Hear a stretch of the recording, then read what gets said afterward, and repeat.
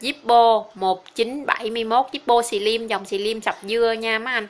1971 có chỗ cho anh khắc tên luôn đây nè cây này chưa xăm mình ha. Đây là cây sọc dưa. Zippo xưa mà dòng sọc dưa nó sẽ nó sẽ có giá trị sưu tập hơn là dòng trơn ha, tại vì à, nó hiếm. 1971 nha anh. Hai gạch một gạch ha. 1971 bất bột còn nguyên còn bất bột zin của nó luôn ha. Rút ruột cho anh coi. Đó, 1971 nha. Zippo Slim ruột còn rất là mới luôn này nè thấy không?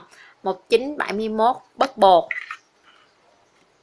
cần cộng bất bột xưa cô Zip mình mua cũng tiền không rồi đừng nói gì tới cái Zip ha. Zippo Slim cây này còn rất là đẹp nè không cứng móp gì hết thấy không? Nước chrome còn rất là sáng luôn không cứng móp gì hết thấy không? À, thấy không? Không cứng móp gì hết. Nó tình trạng còn rất là đẹp. Đó.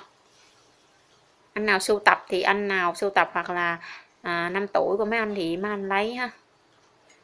Thì xì lin nó xài nó nhỏ gọn có chỗ cho mấy khắc tên luôn nè. Cây này chưa có xăm mình. Thường tây á, nó nó thích xăm xăm xăm tên của nó là quẹt lắm. Nhưng mà à, cây này chưa có bị xăm mình luôn. Đó. Giá trị sưu tầm rất là cao ha.